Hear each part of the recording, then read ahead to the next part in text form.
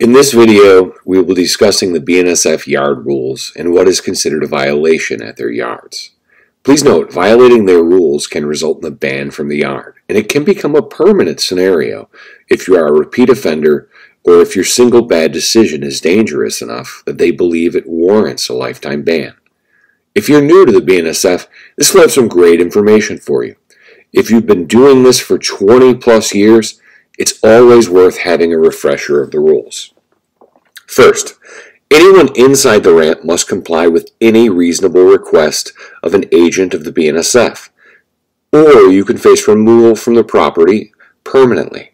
So if the ramp personnel wants to see your license or talk with you, you must comply with their directions. In addition, being disrespectful with anyone at the ramp or cursing at them will also get you banned from the ramp and there's a good chance you will need to find another truck driving job because no one tolerates that kind of behavior. Rule number one pulling through a parking stall. This should never happen anywhere because no one can predict this activity since it's illegal everywhere.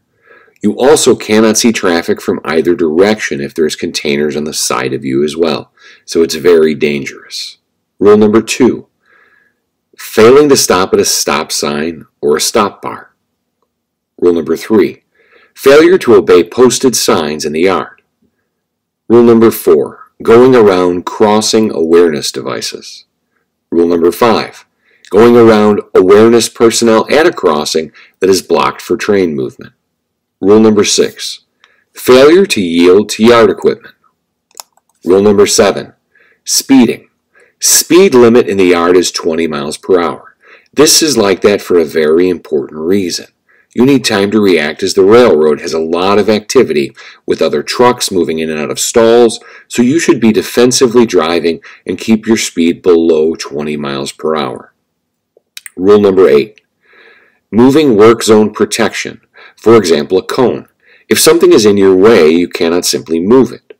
Talk to the ramp personnel. They put it there for a reason. Rule number 9. Following the crane path. Rule 10 Seatbelt must be on inside the ramp. Your seatbelt should be on any time your truck is not in park. Rule number 11. Your headlights must be on inside the ramp. Rule 12. Using incorrect lane at the entrance. For example, don't use the bobtail lane if you have a container on your back. Rule 13. Leaving the scene of an accident. This includes an accusation of an accident. If you don't feel you didn't have an accident but are being accused, always give your information and make a statement. Contact dispatch. You cannot simply drive away from the accuser.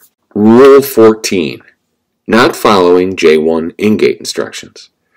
Take the container where the J1 tells you to. If it has a spot, put it in the spot number. If that spot has something else in it, contact ramp personnel. A smart idea would be to document for yourself. Who did you talk with? What was their name? Maybe take a photo of the container that was in the spot. Get a photo that helps identify your spot was full. Rule 15. Your cell phone usage must be hands-free. Rule 16. Pushing the in-gate, out-gate open. Rule 17.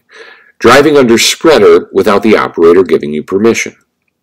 Rule 18 exiting your truck during a flip. Rule 19. Blindside pullouts from parking stalls unless there is no other option. And Rule 20. All drivers must have a valid driver's license and present them upon demand.